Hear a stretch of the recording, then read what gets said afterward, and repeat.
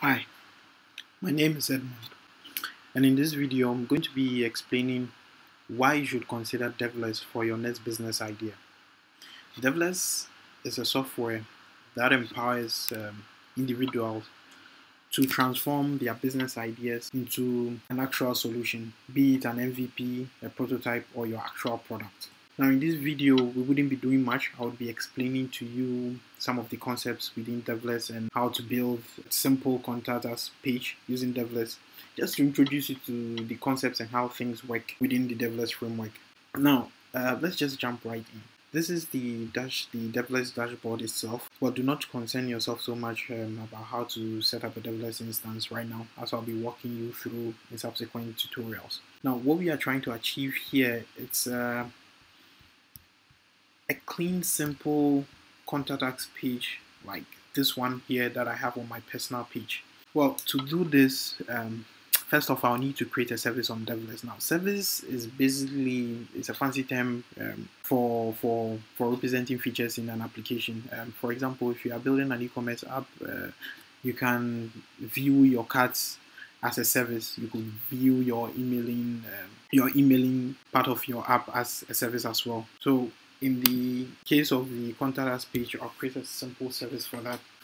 Uh, take this one down. And I can leave the, the remaining fields as default as I do not need to connect my service to an external database. And although that Devless allows you to do that, Devless allows you to use multiple databases within your same application. We don't need that now. So I'll go ahead and then create my service. Now, once your service is created, the next step you take is um, create a table. So in my case, I'll create a table to hold the details and I'll need a field to hold the name of uh, people trying to contact us. The next field I'd like to add is an email field. And the cool thing about Devless is once I select, uh, say, an email type, automatically applies validation once people start inputting in their, their values and I don't have to write extra code for that.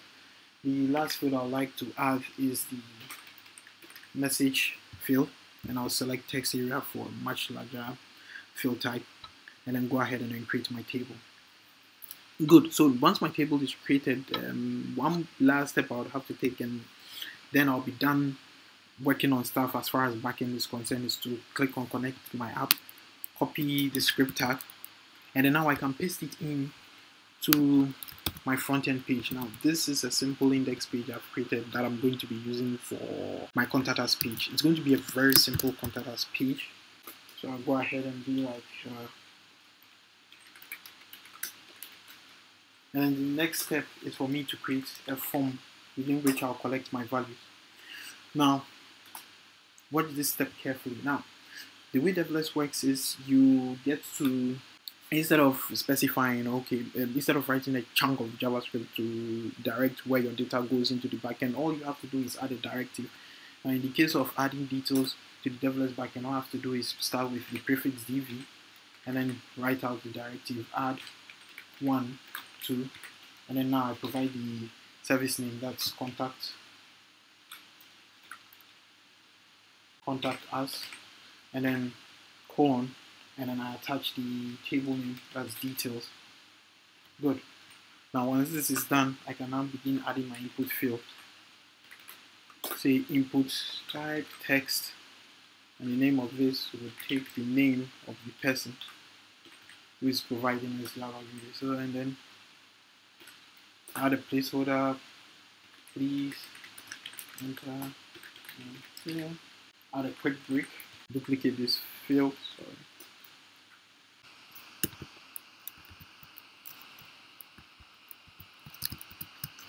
Alright. I'll duplicate this field and then change this to what do we have? Email, right? So you all you have to do is make sure the names correspond to the fields you created within your database. Then you go ahead and say enter email here then enter message for our message. It's going to be a text area so I do not need to duplicate this. Just create a quick text area box and then add a name message and that was it. Now we add a button for submission. Type submit.